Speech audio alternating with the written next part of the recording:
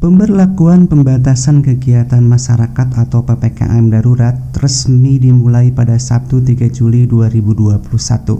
Selama PPKM darurat ini, pemerintah menghimbau masyarakat untuk tidak keluar rumah apabila tidak mendesak. PPKM darurat ini rupanya menimbulkan adanya panik buying yang dilakukan sejumlah orang. Salah satu contoh seperti yang terlihat dalam unggahan akun Twitter VFood Fest 2.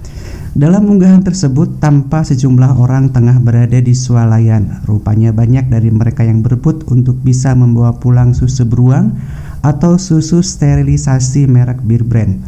Banyak dari orang-orang tersebut dan membeli susu Bir Brand dalam jumlah banyak, bahkan tanpa bapak-bapak yang berdesakan untuk bisa segera mengambil susu beruang.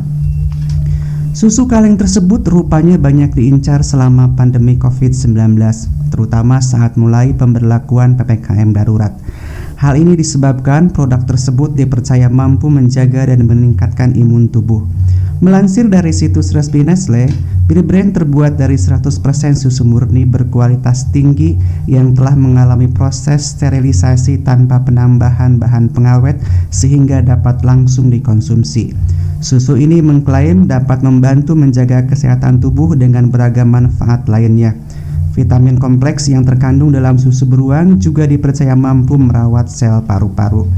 Sementara itu, menanggapi aksi panik beli susu beruang, pengurus Gabungan Pengusaha Makanan dan Minuman Indonesia atau GAPMI, Irwan S. Wijaya menyatakan, jika aksi borong yang dilakukan oleh masyarakat terhadap produk tertentu seperti susu beruang merupakan respon terhadap kondisi yang terjadi saat ini, terutama akibat meningkatnya kasus COVID-19. Irwan pun menghimbau agar masyarakat tetap tenang dan tidak melakukan pembelian terhadap suatu produk secara berlebihan seperti susu beruang agar tidak menimbulkan gejolak harga nantinya. Di lain pihak, staf pengajar di Fakultas Program Studi Gizi Kesehatan Fakultas Kedokteran Universitas Gajah Mada atau UGM, Lili Arsanti Lestari, seperti yang dikutip dari kompas.com mengatakan, imunitas tubuh bisa ditingkatkan juga dengan mengkonsumsi pangan sehat lainnya seperti protein dan vitamin. Jadi, tidak harus hanya sekedar minum susu beruang. Dimas Fat melaporkan untuk channel Rian Ferdian.